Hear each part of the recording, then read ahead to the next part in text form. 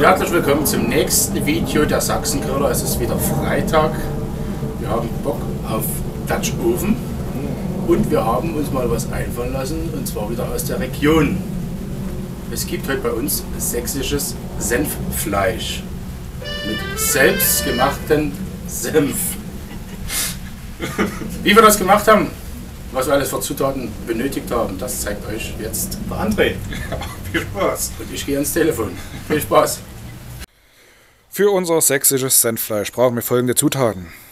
Hier vorne haben wir ein bisschen Rindfleisch, eine Salatgurke, ein paar Zwiebeln, unser selber gemachten Senf. Dann haben wir hier unten drunter noch Pumpernickel liegen. Und zum Abwürzen nehmen wir natürlich unsere Gewürze vom Achterhof. Da wären hier äh, Kreuzkümmel, ein bisschen Selleriesalz, Koriander, Pfeffer und hier hatten wir noch im TK ein paar schöne Kräuter, so Petersilie und Dill. Ja, und was wir damit machen, das zeigen wir euch jetzt. Am Dutch Oven sind wir jetzt angekommen. Wie ihr seht, haben wir schon ein bisschen Wasser hereingegossen in unseren Dutch Oven. Unser Rindfleisch haben wir jetzt schon mal mit der Hälfte von den Gewürzen gewürzt, also mit Salz, Pfeffer, Kümmel, Koriander. Das kommt jetzt ins Wasser mit hinzu.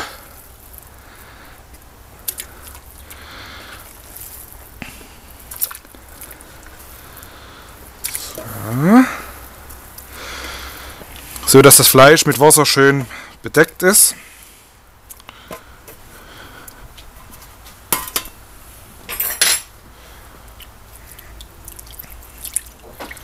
So schaut das gut aus. Jetzt kommen unsere Zwiebeln noch mit hinzu.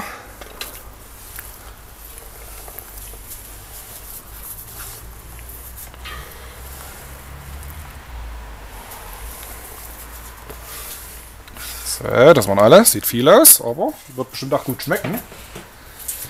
Das Ganze werden wir jetzt noch umrühren und werden jetzt das Fleisch in der Brühe garen. So, wie gesagt, mal kurz durchrühren. Und dann kommt die andere Hälfte von unseren Gewürzen noch mit hinzu. Und was ich euch natürlich leider vor uns unterschlagen hat, hier sind noch ein paar Nelken mit drin. Die hatten sich vorhin so ein bisschen versteckt. Einfach mit dazu die restlichen Gewürze. Nochmal kurz durchrühren und jetzt äh, das Fleisch garen lassen.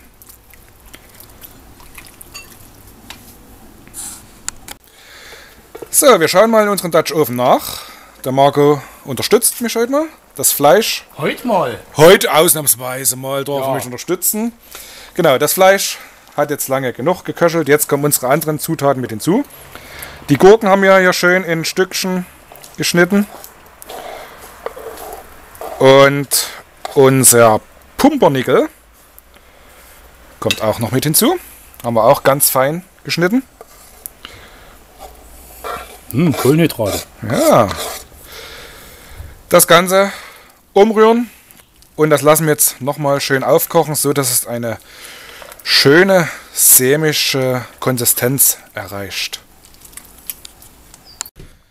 Unser sächsisches Senffleisch haben wir jetzt äh, ein bisschen einkochen lassen.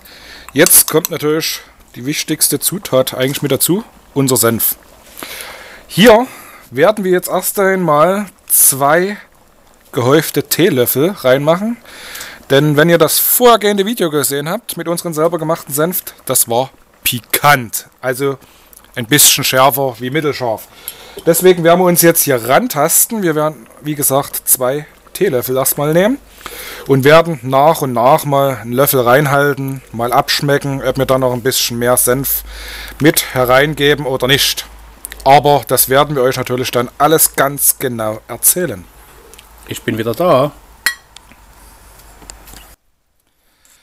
So, wie gesagt, wir haben zwischendurch, äh, zwischendurch, ne, also Doch. zwischendurch mal abgeschmeckt. Wir haben nochmal drei Esslöffel von unserem Senf hinzugetan. Das war noch ein bisschen zu lasch gewürzt. Jetzt kommt unsere letzte Zutat, unsere Kräuter hinzu. Die lassen wir jetzt bloß noch mal ganz kurz aufkochen und dann würde ich sagen, ab zum Verkosten. Es wird Zeit. So, So ist Der er. André ist durch, das Fleisch ist durch, das Video ist durch. Wir kommen zum Verkosten. Geruchstechnisch wieder eine andere Richtung. Ja, mal schauen. Sächsisches Senffleisch.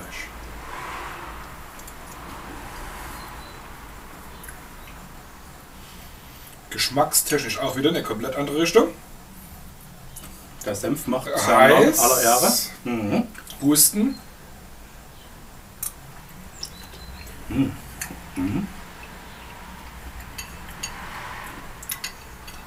Ich finde es lecker. Im Anbiss das Fleisch, dann kommt die Gartenkräuter, diese Kräuter.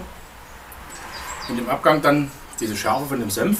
Aber auch der Senfgeschmack allgemein, der ist Ja, nie der Senf- der Senfgeschmack- Deswegen heißt es auch Senffleisch. Der Senfgeschmack, der zieht sich natürlich durch das äh, ganze Kauen, nenne ich es mal. Aber so in den einzelnen Stufen, also am Anfang die Kräuter, dann der Senf, dann die Schärfe im Hintergrund, verlangt noch mehr. Werde ich jetzt tun. Hm, Ich würde auch, wenn ihr hier nicht gerade unseren selber gemachten Sand habt, könnt ihr auch einen ganz normalen Mittelscharfen nehmen. Den baut's noch. Den Bautzner auf jeden Fall. Milder würde ich dann aber nicht rangehen, dann fehlt euch ein bisschen der Geschmack, die Würze, die Schärfe. Genau, das ist natürlich nach jedem Geschmack variabel. Aber so, mit unseren Sachen, top. Top. Da kann man nur noch sagen, auch wieder mal zum Nachmachen empfohlen. Wenn euch das Video gefallen hat, gebt uns einen Daumen nach oben, abonniert unseren Kanal. Und dann würde ich sagen, verabschieden wir uns ins Wochenende und sehen uns zum nächsten Video. Eure Sachsengriller, André und Marco. Ciao. Ciao.